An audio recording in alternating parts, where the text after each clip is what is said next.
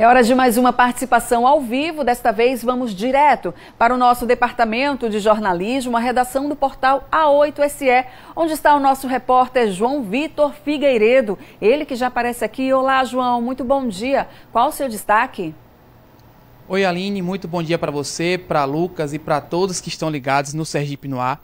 A gente segue repercutindo a notícia da morte da ativista animal Nazaré Moraes, de 62 anos. Ela que foi encontrada morta na, na noite de terça-feira, lá na Barra dos Coqueiros, em um galpão.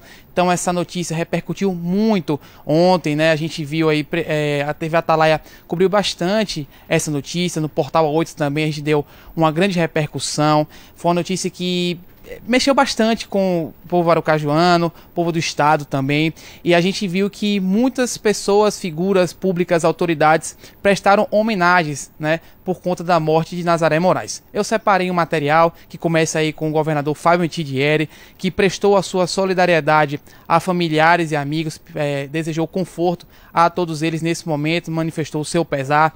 Quem também manifestou o seu pesar foi a deputada federal Iandra Moura, né, que falou que Nazaré era uma voz incansável na luta pelo direito dos animais em Aracaju e que essa dedicação pela causa animal deixou um legado valioso para toda a população sergipana e que ela será eternamente lembrada. O senador, a, de, a também deputada Catarina Feitosa lamentou a perda de Nazaré e disse que ela era uma, um grande nome na dignidade animal, no cuidado com a dignidade animal, e que será isso aí ecoado por muitas gerações, prestando também sua solidariedade à família, aos amigos. Já o senador Rogério Carvalho disse que recebeu a notícia com muita tristeza, lamentou muito a morte de Nazaré Moraes, destacou que ela foi a fundadora da ONG Educação e Legislação Animal e que ela deixou um legado valioso e necessário em Sergipe na causa animal. A deputada estadual Linda Brasil também se manifestou, falou que a ativista lutava com muita ênfase né, em defesa da legislação animal e que ela foi uma das grandes pioneiras de Sergipe na luta por essa causa. Disse que ela vai deixar também uma. vai fazer grande falta. O vereador e jornalista Ricardo Marques destacou né, que fez muitas entrevistas com Nazaré e ele chamou, é, destacou que ela era uma amiga e guerreira incansável pela causa animal, acompanhava o, tra o trabalho dela durante muito tempo e por isso fez muitas entrevistas, lamentou a perda de Nazaré.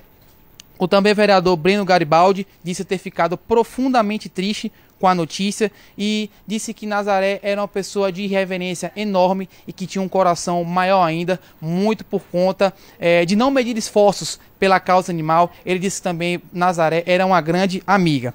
A também vereadora de Aracaju, Sheila Galba, disse que Nazaré sempre foi referência de amor e cuidado com os animais né, e que se posicionou sempre de forma intensa na defesa por eles. Foi mais uma pessoa, mais uma figura política que lamentou a perda de Nazaré.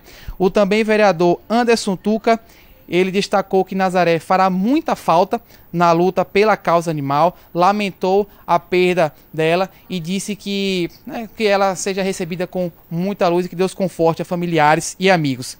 A ONG Amigos da Vida disse que se, é, estão enlutados pela morte de Nazaré por meio de uma postagem nas redes sociais, também lamentou a morte dessa grande ativista né, encerrando esse videozinho. Outro também que se posicionou pela morte de Nazaré foi o prefeito Edgar, é, Edivaldo Nogueira, perdão, que destacou fez sua, sua, manifestação de pesar e destacou também a tristeza pela morte de Nazaré. Então, como podemos ver, foram muitas as manifestações de pesar pela morte da ativista. Ela vai fazer muita falta, com certeza, na luta por essa causa animal. Mais cedo, Mira destacou é, a continuidade do processo, sepultamento por volta das 10 horas da manhã na igreja de São Benedito. A gente segue acompanhando e repercutindo todo esse caso. Eu volto com vocês no estúdio.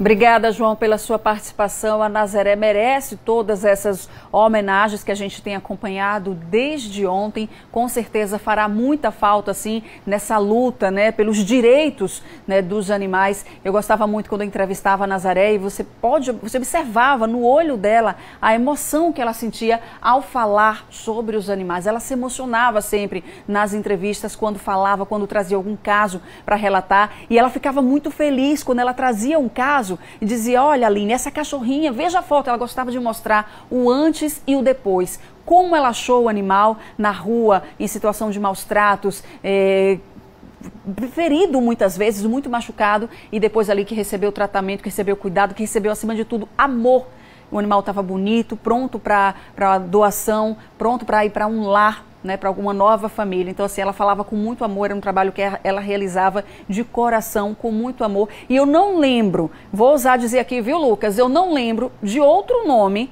antes de Nazaré.